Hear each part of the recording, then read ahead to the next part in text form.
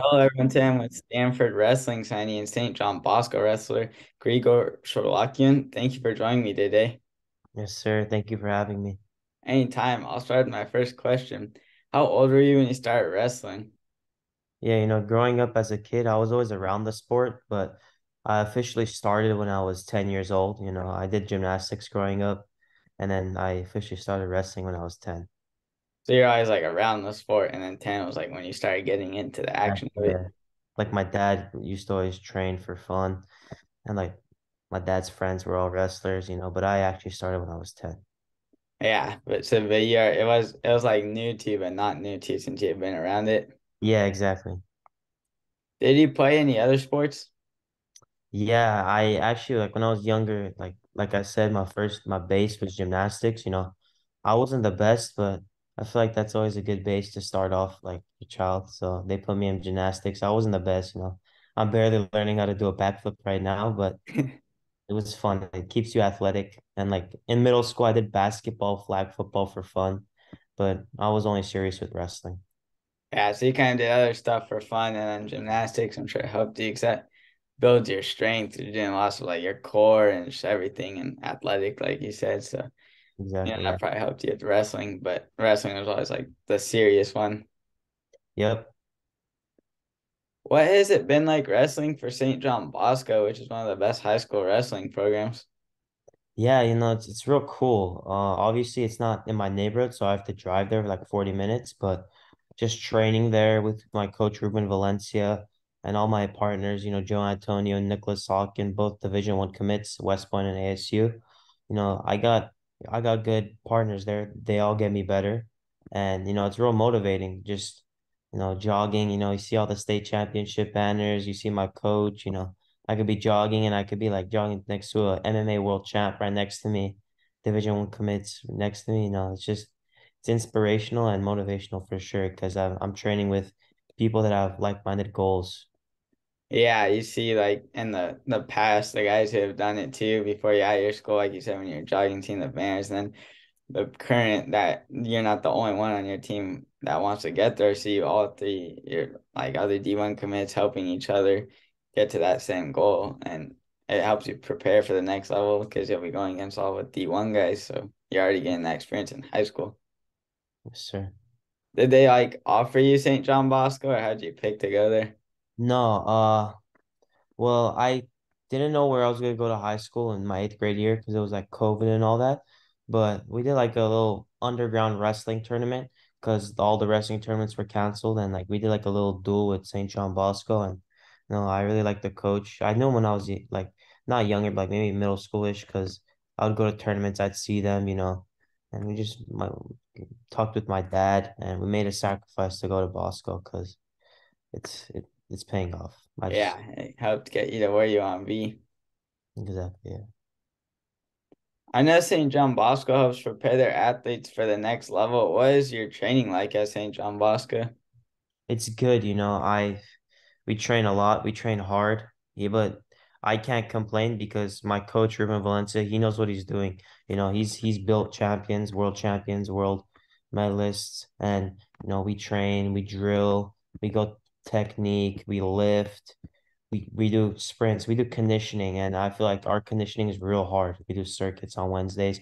You know, I feel like you could bring any athlete, football player, wrestler in the country, and if they do our Wednesday conditioning, they're gonna leave the room throwing up for sure. You know, that's it's real rough, but it builds us and just training there, it's it's real. It prepares me. It it be, keeps my confidence high because confidence comes from preparation. Yeah. Yeah, so you, you know, for any athlete, like your workout's like really tough to conditioning. So then though that helps you because like in the wrestling match, you know, you've done a lot harder with that conditioning, and even when you get to the college level, you experience like some of the hardest conditioning. So it helps you a lot in the long term. Yep. What made you pick Stanford?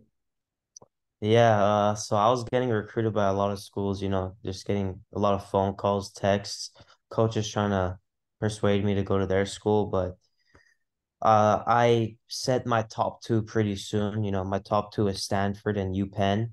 But ultimately, I feel like what made me choose Stanford is one, it was it was probably the closest school that was hitting me up as far as distance. You know, I was getting hit up from schools all across the country. Two, they're obviously everybody knows Stanford, you know, their academics top notch. It's gonna set me up for life, you know, and whatever career I decide to pursue, it's gonna it's gonna excel me in multiple ways. Three, you know, the coaches there, they're just top notch, amazing. You know, they care about you. They're in that room, they're trying to get you better. And uh, you know, just the location, the weather, it's not gonna be freezing cold like if I would be in Pennsylvania or something.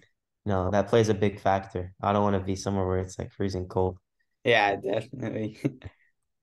So I yeah, they have everything. yeah, They got the academics, like you said, so that when your wrestling career's done, you know, you made the most because you also get in the great academics, or like you said, same state. We get to go see something new too, and still get really good weather, but your family can still visit you and you can go back home. yep. I say you always wanted like that good academic school because you had U Penn and Stanford, both really good academics. Yeah, that, that was my top two. You know, it's not no slouch on U Penn though. You know, U Penn was offering me a spot on the Wharton School. They have like the number one business school in the world. It's known for it. They were offering me a spot there. But uh ultimately I feel like the distance was a big factor and the weather, it was just too cold. But yeah, yeah, you'd have snow for a long time. yeah, not that guy. When will you be arriving at Stanford? Uh, I'm not 100% sure yet. I still gotta, whenever the my school year is done, I gotta talk with my coaches. But as far as I'm like, I've heard, I feel like they're gonna want me there early summer, you know, so just to get used to the system, their training system. But classes won't start till September, but I'm 100% gonna be there before September. I think sometime early summer. So then you'll be there early and then like you'll be with the team already and getting the workouts, getting used to everything. So then like when school starts, like that's not a big adjustment doing both that and school. Exactly, yeah. What are you most excited for at Stanford? Oh, I'm really excited to just go out there and like a new experience in my life. You know, I've been living in Southern California for my whole life. You know, it's it's been same of my 18 years on this earth. You know, just going to the same like areas. You know, I always have one on vacations, but going up north is going to be a new experience in my life for sure. And I'm really excited about everything. You know, meeting new people, making connections that might be useful in the future you know, getting better as a wrestler, obviously, getting my degrees, just becoming a better person overall. And we're excited for everything, you know. Yeah, so just the new like new scenery and everything. So you've been in Southern California, you get to go to Northern California and you get to experience that and just like you said, getting your degree helping you for after your wrestling and just enjoying it. Yes, sir. How do you persevere through the matches that are challenging and when things aren't going your way?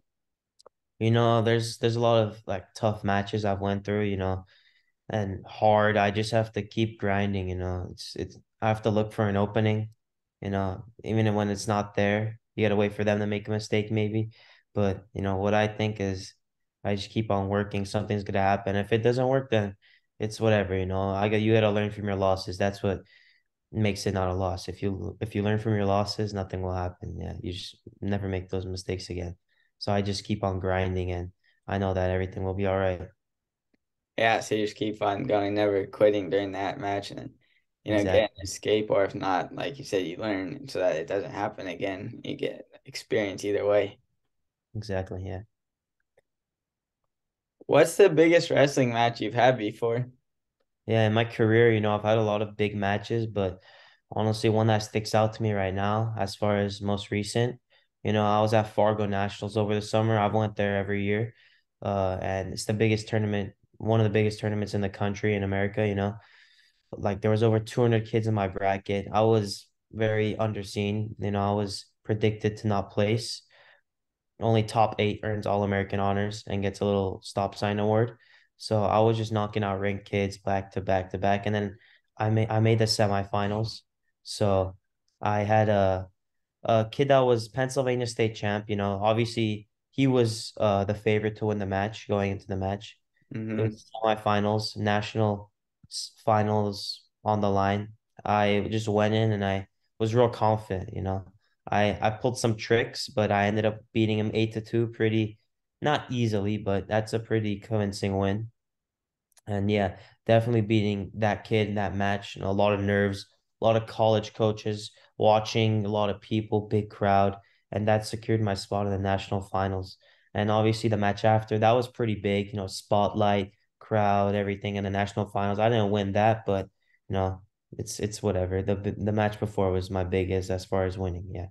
Yeah, that's awesome. Like being the underdog, you know, proving everybody wrong, you know, because like the underseed, and then you went all the way to the finals and beat the Pennsylvania state champion, and like not just like like you said, not easily, but pretty convincingly. Like they knew it wasn't just like a fluke. That's yeah. really cool. And I bet like the atmosphere was crazy in that.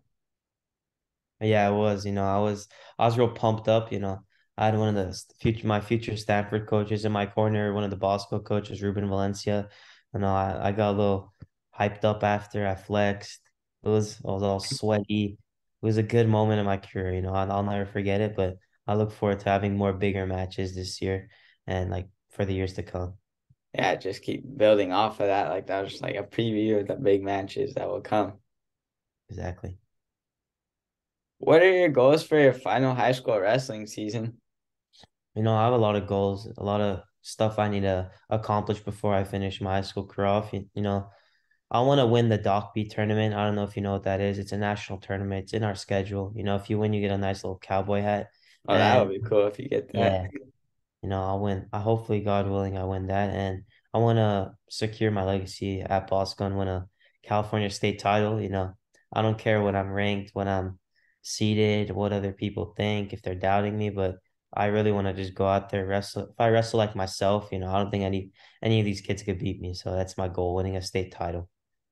Yeah, cementing your legacy at Bosco, like you said, you know, they'll always remember have your name up there in the gym and you know, it should always be remembered as a state champion. Yes, sir. It's the goal. And you can do it. Like you proved it at the tournament, making all the the finals. Yeah. How would you describe yourself off the mat? You know, I think I'm a pretty nice guy, respectful, humble. I I'm I'm pretty I treat people well. And I'm just a funny guy, I guess. Just laid back, chill. Yeah, so the type of person that people want to have around. With yeah. the funny, chill, nice, you know. Yeah. Then the last question I have is for fun. If you get to take any three wrestlers to dinner. They could be past or present. Who would you take? Oh, wrestlers? Can I say like other athletes too? yeah, you could do any athletes. All right, one wrestler for the three, probably. Hmm. Probably Jordan Burroughs, I guess. You know, he's a real good wrestler right now. He's one of the the goats as far as current wrestling. One one basketball player, you know, has always been one of my favorites, Michael Jordan. You know, real. I love his mindset. I'll probably him. And then the third person, does the third person have to be athlete or just could be like someone famous? It could be anyone if you want. Yeah, someone. The third person, probably probably Drake. You know, I like his music just to like see what's up with them. So Jordan Burroughs, Michael Jordan, and Drake. That'd be a cool dinner. You know, you got like a mix of everything. I know exactly. After Drake just released his EP on that new mm-hmm. album, so yeah, well, that'd be a great dinner for sure. Uh, yeah. MJ, he'd be cool to talk to. I feel like he'd try and start some competition there though. Yeah, he's cool. I know, like watching his like Last Dance documentary. That's that was so cool. cool. Yeah. Like his mentality, like I just wanted to like make the Bulls great. Like when he first got drafted, we talked about that, and then like he he'd back up whatever he'd say. Exactly. Yeah, that's it's really inspirational. Um, like, that'll be my dinner. That would be a really fun dinner. Hopefully it happens. Yeah. One day maybe. We'll see. All right. Thank you for taking the time to join me today. I appreciate it, Nathan. Good luck on your soccer game. Thank you.